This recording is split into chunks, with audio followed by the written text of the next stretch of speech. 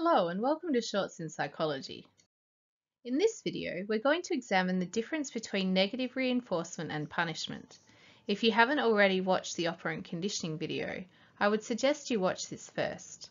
I've posted the link to this video in the comments below.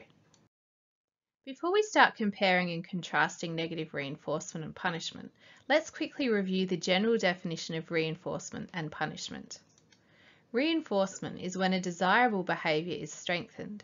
This means that the behaviour is occurring more frequently as a result of the consequence that the learner receives for performing it. Punishment, on the other hand, is when an undesirable behaviour is weakened. Therefore, it is occurring less frequently due to the learner receiving an unpleasant consequence. Now let's look at negative reinforcement specifically. In negative reinforcement, the behaviour is being strengthened via the removal of an aversive stimulus. Remember that in learning, the word negative doesn't mean bad, but it means subtraction, to take something away, just like in mathematics. Because we want the learner to repeat this behaviour and perform it more frequently, the stimulus being taken away is something unpleasant or aversive. Let's illustrate this with an example. You get a bad headache and so take a painkiller tablet. This gets rid of your headache. This is negative reinforcement because the behaviour of taking a painkiller will be strengthened and occur more frequently in the future as it removes the aversive stimulus of the headache. As we've already mentioned, the aim of punishment is to decrease an undesired behaviour and this can be done in a couple of ways. One way to decrease this behaviour is by adding an aversive stimulus. This is sometimes called positive punishment, as a stimulus is being added. Again, just like in mathematics, positive means addition, not something good like the word positive often does when we use it in other contexts. Another name for this kind of punishment is aversive punishment, as the consequence being applied is something aversive and unpleasant. It is something the learner will wish to avoid in the future.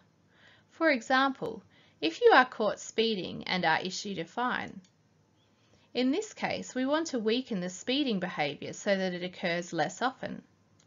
The punisher, which is being used to achieve this, is the addition of an aversive stimulus in the form of the fine.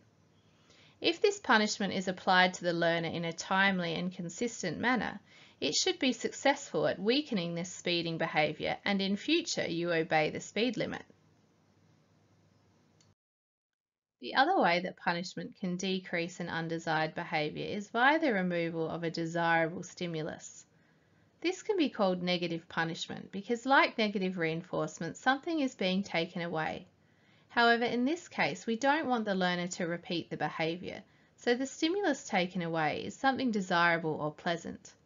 Because the learner's response is influenced by its negative cost, the withdrawal of a previously earned reinforcer or future reinforcer, this type of punishment is also called response cost. For example, you are failing at school and so your parents take away your mobile phone. In this instance, we are still weakening an undesirable behaviour, failing at school, but instead of doing so by applying an aversive stimulus, we are doing it by taking away something desirable, your mobile phone. As a result, you spend more time studying and get better grades in the future. In summary, negative reinforcement is used when the behaviour occurring is desirable, whereas punishment is used when the behaviour is undesirable. Negative reinforcement involves increasing the frequency of a behaviour, whereas the aim of punishment is to decrease the frequency of a behaviour. Negative reinforcement increases the frequency of a desired behaviour via the removal of an aversive stimulus. In contrast, punishment can decrease the frequency of an undesired behaviour via the addition of an aversive stimulus, which is known as aversive punishment, or via the removal of a desirable stimulus, which is called response cost. Thanks for listening and feel free to post any comments or feedback below. I'll catch you next time for another Shorts in Psychology.